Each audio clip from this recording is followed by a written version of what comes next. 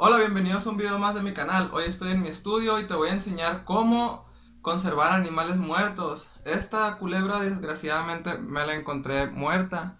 Es inofensiva y en algún momento le puede servir a alguien para estudiar su morfología o algo de ella, ya que en mi, en mi ciudad hay una facultad de biología. Pues bueno, lo que vamos a necesitar es alcohol al 70%, un bote de vidrio hermético que cierre hermético y un poco de plástico para apoyar el cierre para sellar mejor.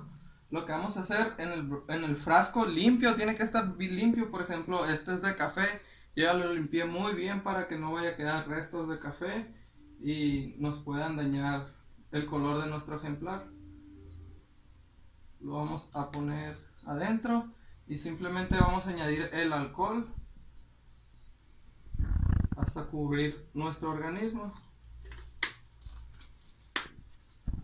Queda poquito, lo voy a echar todo de una vez. Para los insectos e invertebrados como los 100 pies, 1000 pies, ocupas formol al 10% y ya, es todo lo que tienes que hacer. Ya quedó nuestro animal fijado. Ahí lo pueden ver. Si te sirvió el video, suscríbete al canal. También tengo videos de cómo limpiarlos y explorando, buscándolos vivos. También esta serpiente fue una una que grabé, bueno, esta no, esta especie fue una que grabé en mi primer video, aquí te lo voy a poner. Espero que les haya gustado.